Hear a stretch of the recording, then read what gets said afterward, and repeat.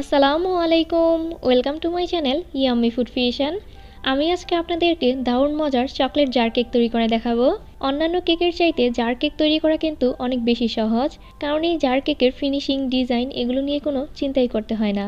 চলুন দেখে নেওয়া যাক কীভাবে খুব সহজেই এই মজাদার জার কেক তৈরি করতে হয়।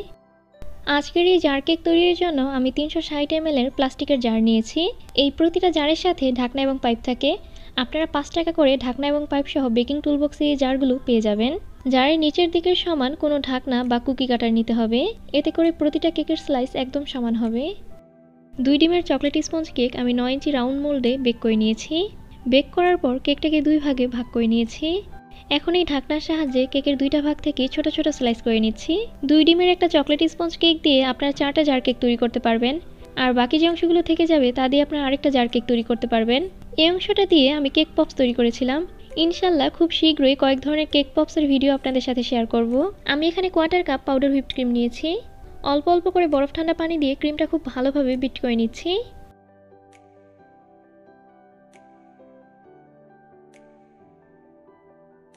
ক্রিমটা খুব ভালোভাবে হয়ে গেলে এর মধ্যে এক চা চামচ cocoa powder quarter cup chocolate ganache এবং সামান্য পরিমাণে চকলেট ইমালশন দিয়ে দিচ্ছি। বিটারের সাহায্যে লো স্পিডে সব কিছু খুব ভালোভাবে একসাথে মিশিয়ে নিচ্ছি। আমাদের চকলেট ক্রিম এখন পুরোপুরি তৈরি। জার কেক তৈরির জন্য প্রথমেই কেকের একটা স্লাইস দিয়ে দিচ্ছি। চামচের সাহায্যে স্লাইসটাকে খুব ভালোভাবে চেপে চেপে নিচের দিকে নিয়ে নিচ্ছি।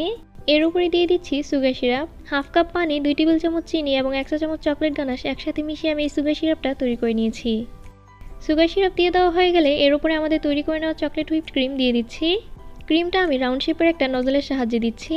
আপনারা চাইলে শুধুমাত্র পাইপিং ব্যাগ দিয়েও ক্রিমটা দিতে পারেন। এখন এর উপরে দিয়ে দিচ্ছি চকলেট গানাশ। চকলেট গানাশটা দিয়ে চারোদিকে খুব ভালোভাবে একটু ছড়িয়ে দিচ্ছি। প্রতিটা জার কেকে আমি তিনটা করে লেয়ার তৈরি করব। আর প্রতিটা লেয়ারে chocolate cake, sugar syrup, whipped cream এবং চকলেট গানাশ দিয়ে দেব।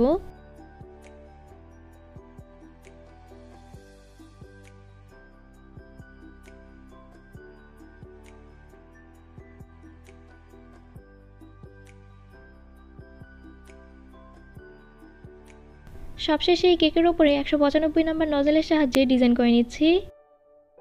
নজল দিয়ে ডেকোরেশন করা হয়ে গেলে এর উপরে কিছুটা চকলেট গানাশ ছড়িয়ে দিচ্ছি। সবশেষে এর উপরে দিয়ে দিচ্ছি কালারফুল স্প্রিঙ্কেল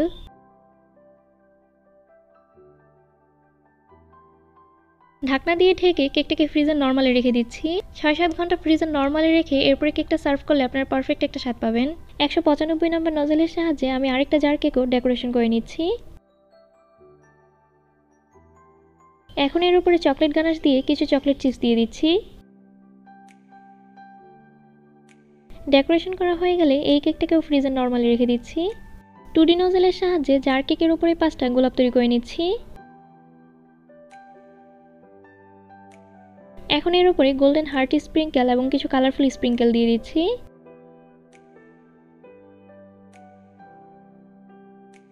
সর্বশেষ জার কেকটাতে টুরি নজলের সাহায্যে কিছু ফুল তৈরি করে এর উপরে চকলেট চিপস দিয়ে দিচ্ছি।